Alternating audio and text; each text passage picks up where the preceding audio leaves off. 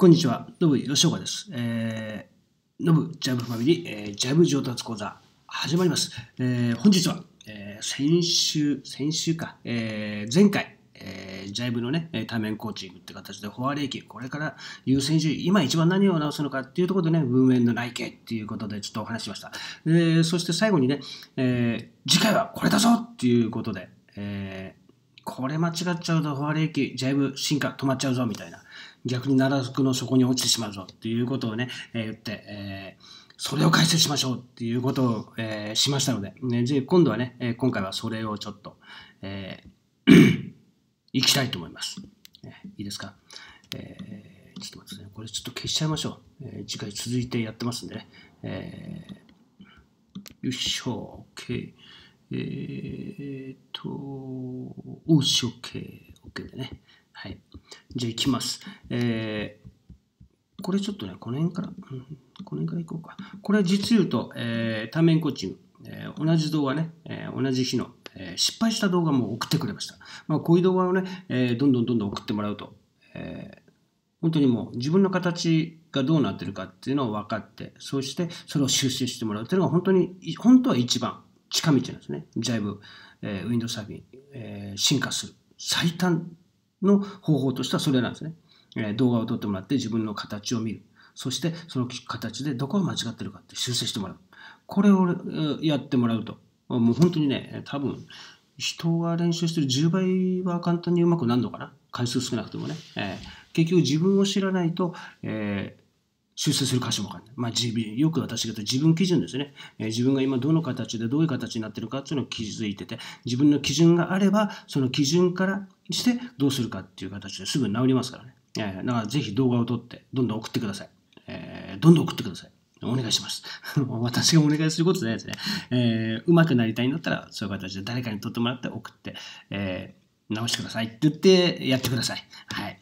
えー、じゃあ行きます。えー、じゃあこれね、ちょっと見てみましょう。これ失敗ね。お、音ください。よし。お、お来た来た来た。ドーンね、失敗ですね、これね。失敗してしまいました。じゃあもう一回いきます。ぎゅーっと来て腰を落として下らしてスピード、いいですね、このスピードね。スピード内径体重のスピード、ぐーっと来て、ドーンわかりますか？これ、なぜ、うん、失敗した？で、まあね、あの前回送った、え、動画では、もう加速するようなね、えー、失速しないジャイブができてるわけです。で、今回できてない。えー、なぜか？っていうとこね、一番の手術。まあだからこれね、フォアレイキっていうね、マストを前に出すっていうことね、フォアレイキ、ジャイブかっこいいじゃんみたいなね、みんな思ってると思います。ただそれを練習するのに、えー、大きな間違いっっていうね、いうのがあるんです。これは私があの以前からいつも言ってるんですけども、大きな間違いっていうのは実を言うと、セールを、皆さんこのフォアレイキっていうのはセールをこう水面に倒すぐらいつくっていう、もうレイダウンみたいなね、もうレイダウンっていう言葉、えー、いまいち私は好きではないんですけども、えー、レイダウンじゃない、フォアレイキっていうのはマストをいかに水面につけるつけるか、進行方向にね、えー、どっちかっていうと、えー、それでいかに近づけるかっていう優先、もうみんなね、そのセールにイメージが行き過ぎちゃう。これ私なんかも言ってるんでね、えー、多分またかよと思ってるかもしれないけど。本当にでもね、多いんですよ。これ私言っててもダメなんだよね。みんな分かってない。うん。だからセールを先にこう、セールをこうつけようつけようっていうこと。これ全くの罰です。全くダメね。えー、じゃなくて、体が内傾する。倒れ込み内傾。体がいかに水面に近づくか。だからマストなんて縮んでたって、マストでなんて縮んでたって実と構わないんですよ。体がいっちゃえばセルって水面につきそうなっちゃう。そこでセールをグッと前に出すことによって、まあ反動っていうね、リバイ、サイバーの中やるのはその反動っていう使うってね、そこでふって進行法を取るっていうことになるんだけどもね、えー、そこのね、順位が間違っちゃう。大体もうほぼ100%近い人はセールを意識してセールを前に出しましょうっていう教え方をするわけ。えだセルを振って前に出す。じゃないです。これ絶対罰ですからね。体が内側に倒れくない45度、えー、もっともっと深く倒れて、そしてセールを振って出す。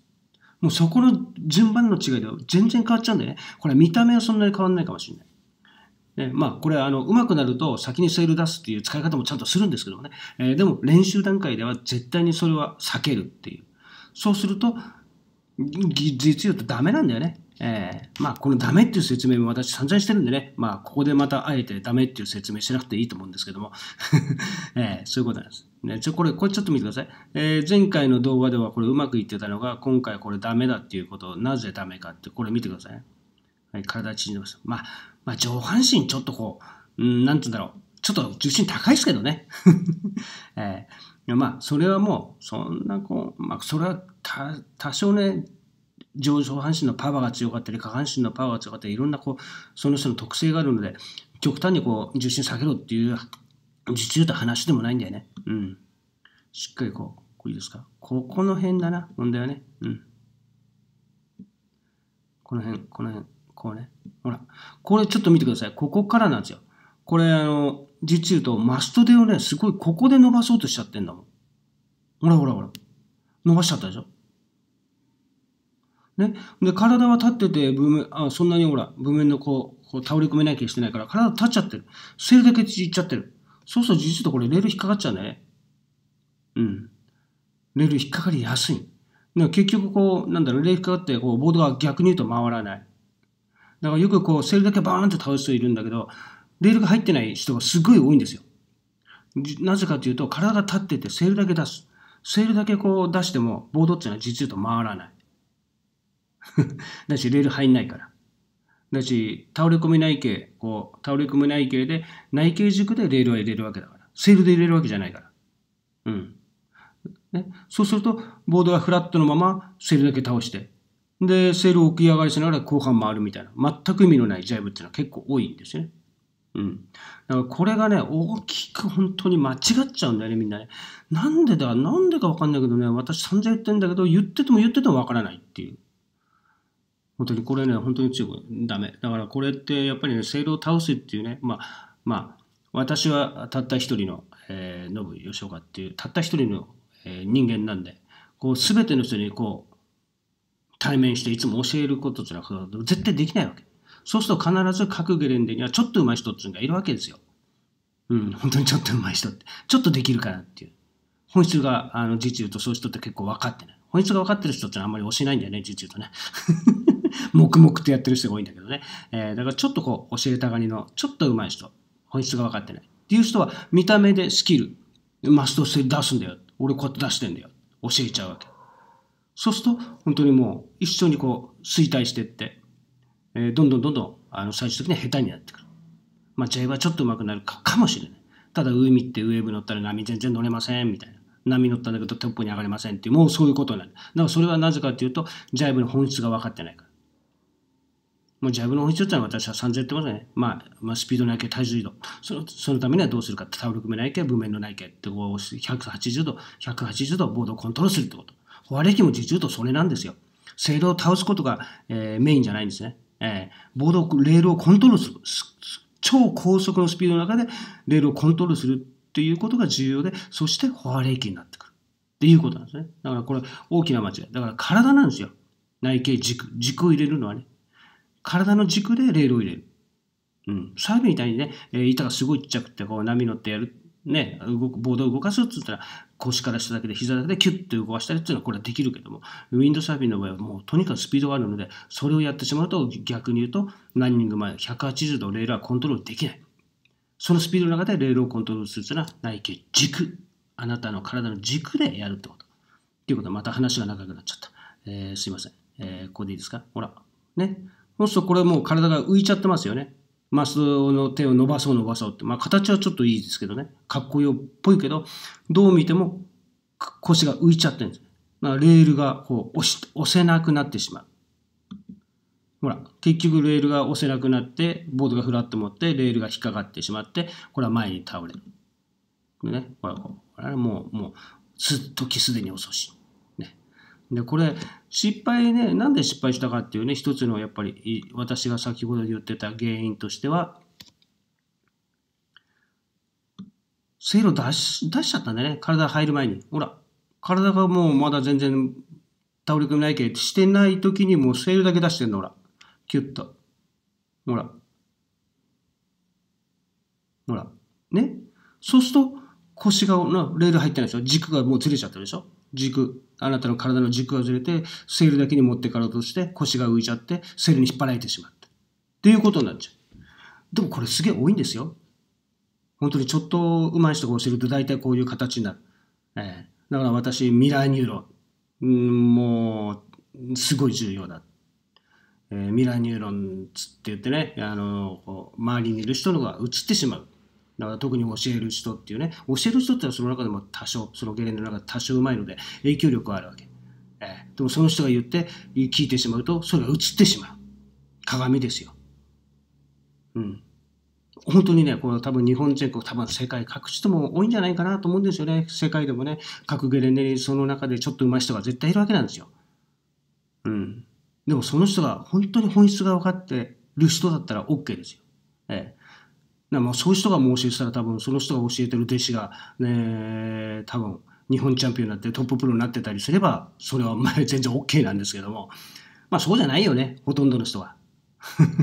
ええ、そうするとちょっと上手い人なんですよ。そうするとその人のレベルで終わってしまって、あとは衰退するだけ。ええ、ああっていう人生、あの、インド人生最後の方なった、あん時な、無駄な時間を10年使っちゃったなっていうふうに思って、えー、寂しいなっつって終わる人がほとんどだ。でも私はそれを避けたい。だから私がいつもいるゲレンデでは、まあそういう形をしていたのが、私がちょっといなくなると、えー、ミラーニューロンっていう、負のミラーニューロンがすぐ出てくる。ね。えー、これはあの、見て、えー、覚えるっていうのがすごい、えー、視覚で覚えるっていうのはね、大体の日本人の9割方に視覚で覚えるんですね。だから、意識しなくても、いつもやってる人の、ちょっと上手い人の見てると、それが映ってくるっていう状況があるわけ。私といつも一緒にやってれば、私のような形になるんだけど、私がちょっとこう、えー、今ちょっと遊びに行って、ちょっと外出てますよ、みたいなね。半年ちょっといなかったですよ。っていうふうになると、えー、その負の南入の方がバッと入ってくるわけ。そう知らないうち映ってる。私が散々言ってたのに、え、何映ってんじゃん。変ななってるよ。っていう話になっちゃうわけね、これね。えー、だからそれは、まあ、本質が分かってないっていうことになっちゃうんだよね。だからまあ、本質が分かって教えてる人っていうのはほぼいないから、これがまた難しい。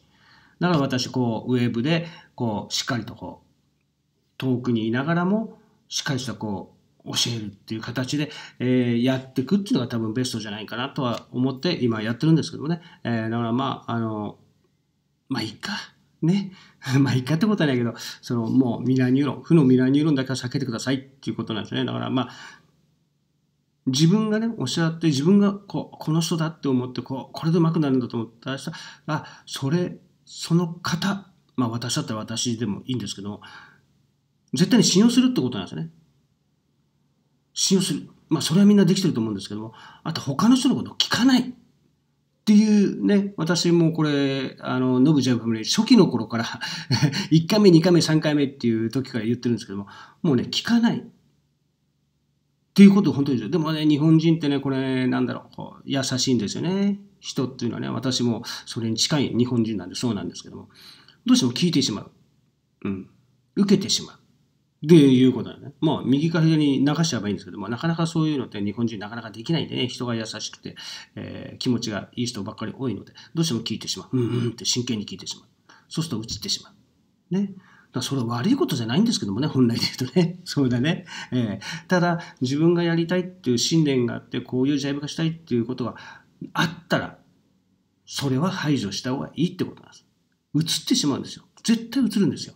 私も映りますから。だから私はもう、これぞっていう決めた人しか見ないし、他のどんなトッププロで、えー、昔で言うとね、トッププロで上手い人でも、私は全く聞かなかったんですよ。私は、まあ、ロビーナスだとロビーナスさんになりたい。で他の人の話は聞かない。っていう。まあ、それ、そうするとね、かっこいいんですよ。本当に。ロビーナスさんの見て俺やってんだから、そんな、ちょっとした日本のトップレベルのそんな下手くそなやつは俺は見ないよ、みたいな、そういう もう俺あなたになりたいわけじゃないか、みたいな、そういうなにとんがった考え方でやってきたっていう感もあるんですけどね。えー、それだったらもっと上手くなるよっていう話なんですけど、でも、でもずっとそうやって続けてきたっていうね、えー、ことなんですよ。うん。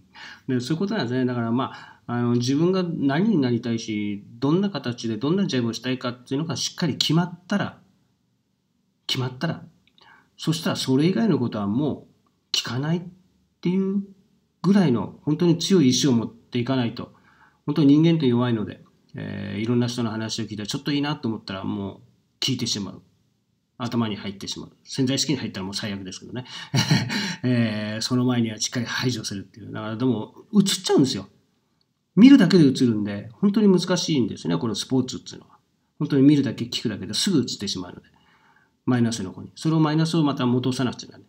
それの、いや、行ったり来たりやってて、えー、10年、20年かかる人も結構いるわけですね。だからそれをしっかりした、えー、しっかりした気持ちで排除するっていうぐらいの気持ちがあると、自分が行きたい先が見える。目標がわかる。そこに進む。そのためには、これはいらない。いる。これは聞くことであって、これは聞かないことで、はっきりと分かってくるんだね。ええだからまあ、はっきりといい人にあまりならない方がいいかもしれない。うまくなるんだったら。本当に最速でうまくなるんだったらいろんな話をして、あ、そうです、そうです、ああ、やってみますよなんてこう、うん人がいいことを言わない。いや、やめてくださいよって、私、あの、うん、教えないでくださいよって、別に私あなたになりたくないから、えー、教えないでくださいよっていうぐらいの強い意志があると、本当に最速でうまくなると思いますよ。だからね、えー、だから、なんだ、群れて集まってる人の中で、ポンと上手くなる人がいないっていうのはそういうことなんですね。個人個人でやってる人ってのは、やっぱり、他の情報入れたくない。俺はここ、ここを目指してんだから、まあ、ちょっと邪魔。俺一生懸命熱心してんだ。っていうね、人の方が絶対上手くなるんじゃないですか。ゲレンデにいるじゃないですか。もう一人で黙々やってて、一生懸命やってる人。あんまり群れてこうおしゃべりして技術論をあまり語らない人っていう人の方が実言うと上手い人が多いんですよ。群れてあじゃなこうじゃなって言ってる人って実言うと、えー、うまくない。それやっぱり全てのミネアニューロンですよ。全部全部が映ってしまうから。ら私は群れるな。本当にうまくなりたいんだったら群れるな。ウィンドウサーフィンを楽しむ、ね、楽しむっていうね、えー、のが目的であって、本当に楽しくウィンドウサーフィンやったら、これは群れた方が絶対楽しいですよ。みんなで一緒にどっか行ったりですね、楽しいですからね。えー、えー、でもその中でも自分がこう、過去の信念があって、俺はこうなりたいっていう人はもう群れながらも楽しめるって、まあなかなかいないんだよね。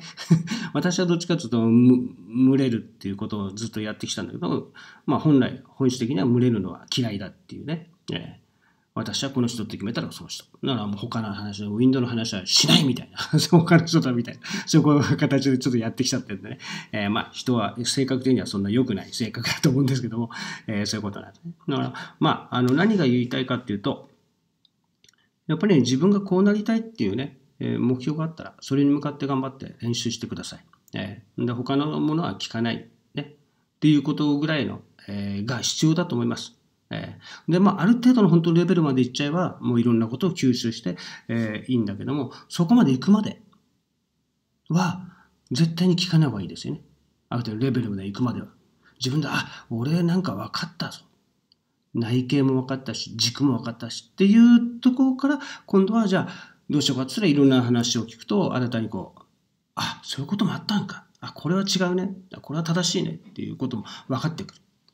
うん。そうするといいんだよね。だからまあ、そうじゃないんだよね、みんなね。みんなでこれ群れてやってると、もう、あの、なんだろう、えー、目くそ鼻くそっていう、まあ、言葉悪いか、えー、そのレベルの人がこうやって話してるって絶対うまくなるわけないじゃない。その人たちが議論したったところでもう、えー、あの、うまくなるわけないんだよね。えー、逆に言うとマイナスの方ちゃう。で、その中でちょっと影響力が強くて言葉が強かったりとか、おしゃべりが上手な人がこうやって言うと、そこに移っちゃう。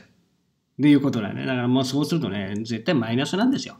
実を言うと。うん。だから本当に上手くなるときは、えー、私が今言ったようにしてください。そして楽しくね、ウィンドサーフィンを仲間同士でやっていくっていう分け合いやっていくんだったら、あの、群れて、え楽しんでいってくださいっていうことですね。えー、私、まあいいか、えー、私は、えー、群れないで技術を追求していくっていう、本当にスポーツを楽しむタイプなので、そういうふうにしていきましたけどね、えー、まあ、人それぞれいろんな、えー、楽しみ方がありますので、えー、まあ、それは自由に選択してください。